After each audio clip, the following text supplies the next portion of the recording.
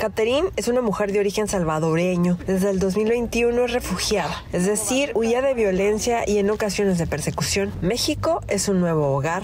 El refugio es una protección que te brinda el Estado cuando eh, pues sufres algún tipo de violencia, una situación por la cual te desplazaste de tu país de origen y este nuevo al donde llegas pues te acoge, ¿no? Entonces soy refugiada desde el 2021. Este 20 de junio es el Día Mundial de las Personas Refugiadas. Tener condición de refugio es diferente a ser inmigrante. Un refugiado huye de forma permanente del país de origen. El refugio hablas de un cambio permanente a ese otro país.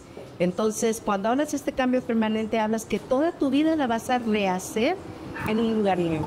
Y rehacer tu vida no nada más es educación, es empleo, es familia, son hijos, son amistades, es clima, es comida, es todo lo que vas a enfrentar para poder estar completo e inmerso en un país diferente al de donde tú vives.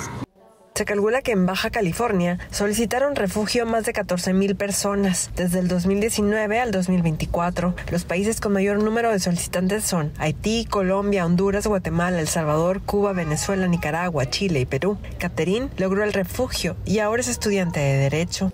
Tuve que esperar mi refugio para poder empezar la universidad. Ahorita ya estoy en mi séptimo semestre de Derecho en la, en Iberoamericana.